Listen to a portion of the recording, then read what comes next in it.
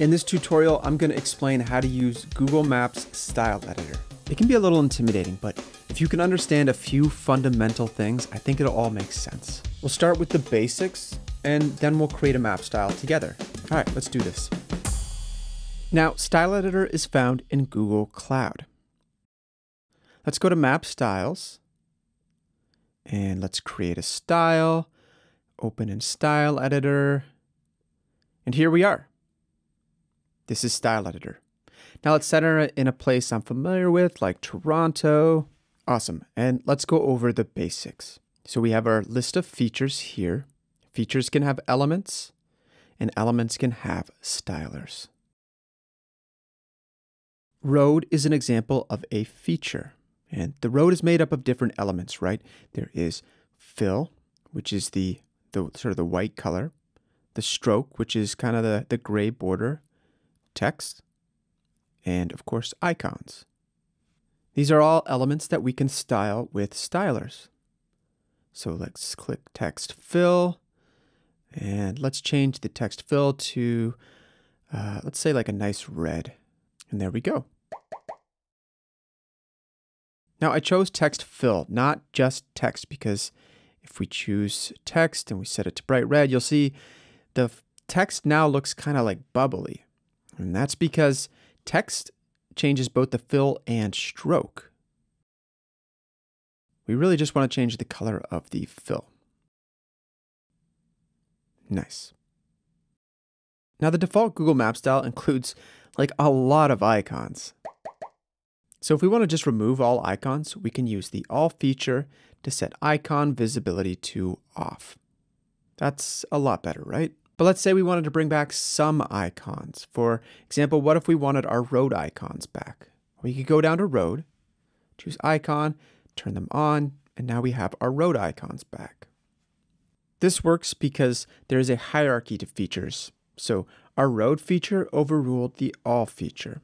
And we could get even more specific. For example, highway is a child of road. And We could turn off the icons for highway. So they're off. This is what they look like on and off again. And if we close this, now we have road icons, but no highway icons. Now that we've made some edits, I want to point something out to you. These blue dots, they're important. They show us where we've made edits. So we can do things like go back and reset our styles by setting our visibility stylers back to inherit. Now, inherit is a really important word here. Right now, we have this Google Map default style, and we are inheriting all of its styles. When we create styles like setting the road visibility to off, then we are overruling the default map style. When we set visibility back to inherit, we are inheriting the default map style. Now, with this in mind, let me show you the quickest possible way to turn your map black and white. Go to All, All, and just turn down the saturation. This is literally just turning down the saturation for the default Google Map style. So this is why Google suggests you be cautious when using saturation because your style could end up looking different down the road. Okay, that's the basics. Now let's try creating our own map style together. So to start, let's go to all and let's turn off all icons. Much cleaner. And now let's go to all text fill and let's give it a nice bright red. And you know what? Let's go to stroke and we'll make sure it's a white border or stroke. And let's increase the width. Let's give it a nice bubble look. Sweet, that looks cool. Uh, now let's go through all of these features. Administrative is just text on your map. So Let's turn neighborhoods off and show you what that looks like. And back on, off, and we'll, we'll leave it on for now. Landscape. Uh, when I edit landscape, I mostly just change human made and natural. So let's move to the border of Toronto. You can see natural is green and human made is beige. Let's make human made um, kind of like a really soft pink. I think that complements our text. Uh, let's go to natural and let's give that um, a similar pink, but maybe just a little darker. Let's dial that in. Yeah. Cool, I like that. Now let's go back to the downtown and we can see there are actually still pockets of other colors. For example, parks are green. Now these other pockets of colors are points of interest and we can give them a similar light red fill. Sweet, I like that.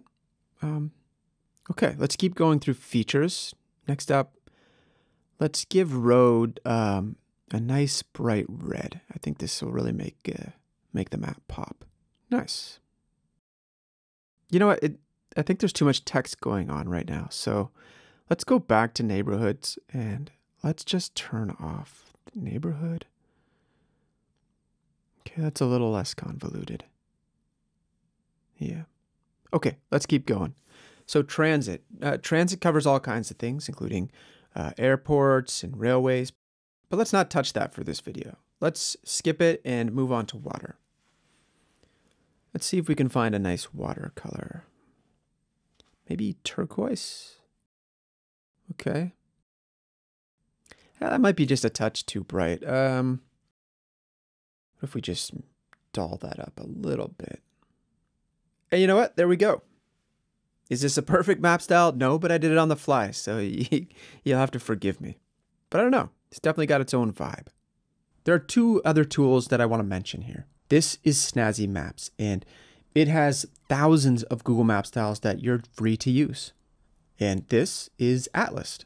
Atlist is a no-code tool for creating custom Google Maps, so you can add markers, upload markers in bulk by CSV, you can add a sidebar, and you can style everything. Modals are completely customizable, markers too, and of course maps as well. I think Atlist is an awesome tool, but I'm also the co-founder of it alongside my friend Carl, so don't take my word for it, you should just try it yourself. You can find a link to Atlist and Snazzy Maps in the video description. In any case, I hope this tutorial was helpful.